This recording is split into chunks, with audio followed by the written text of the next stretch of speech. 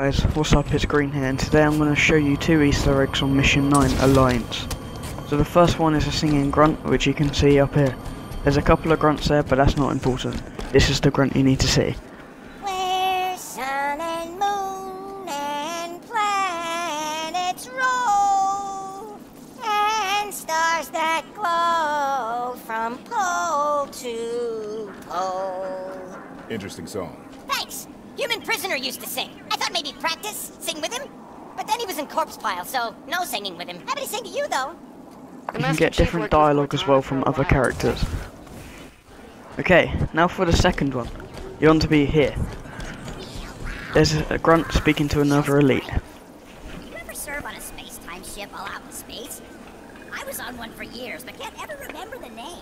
I mean, how come we got such complicated ship time names?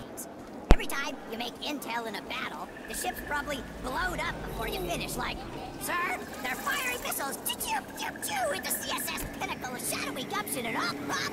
Too late, it's exploded it. Don't worry, here comes the unyielding double caduceus, and oh man, never mind.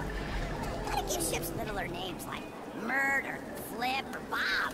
That's way safer. Doisac. Doisac. Doisac. Doy.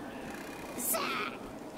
Planet of the Brutes, everybody. Could have named it anything. They could have. But they named it Doisac. Doisac.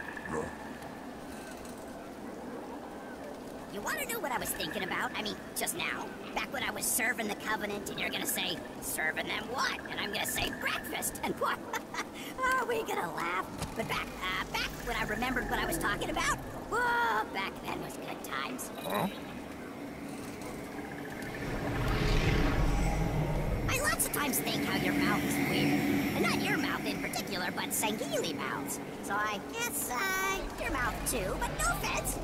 I'm going to spend all day looking up into those things, and they're creepy. Like four little toothy fingers just flap, flap, flapping around. If you guys had tongues, it'd be even creepier, right?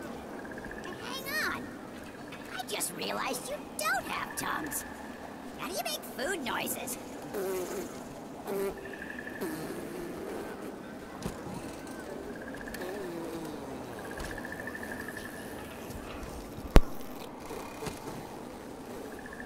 Okay, this has been great.